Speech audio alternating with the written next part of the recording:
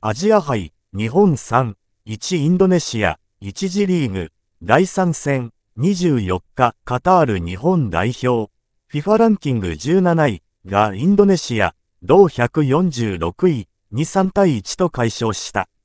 FW 上田綾瀬が2点を挙げる大活躍。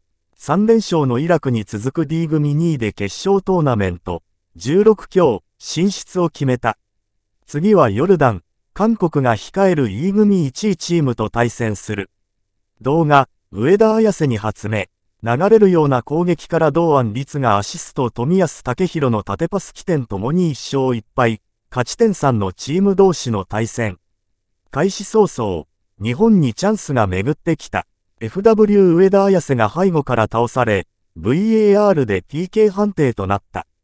前半6分、この PK を上田が冷静にゴール右隅へ決めて幸先よく先制した。前半35分、追加点のチャンスが訪れた。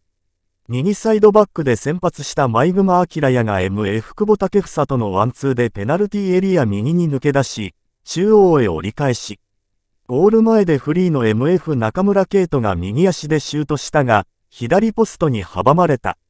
守っては右から前熊、富安武弘、町田幸喜、中山優太の組み合わせで、高い位置にラインを設定。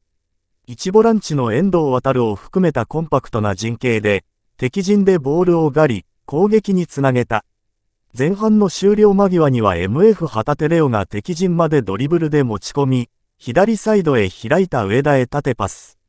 ただ足元にボールが入りすぎ、もたついてシュートまで持ち込めず。0対0で前半を終えた。待望の追加点が生まれた。後半7分、MF 堂安律が左サイドの中村へパスを出すと、その大外から回って縦パスを受け直し、左サイドからゴール前へグラウンダーのクロスを送る。これをファーサイドでフリーとなった上田が右足で押し込み2の0。上田は国際 A マッチ通算10得点とした。日本はその後も堂安が絶好期を迎えるなど、多くのチャンスはあった。後半24分に中村、騎手を下げて MF 南の匠、FW 前田大然を投入した。フレッシュで前に速い選手の活用で3点目を狙いにかかった。後半37分には久保、富安を下げて、MF 佐野海舟、渡辺武をピッチに送り出した。後半42分、終盤から出場した MF 伊藤淳也の折り返しから上田が右足で強烈なシュート。相手選手に当たり入った。記録はオウンゴールだったが、ほとんど上田のゴールだった。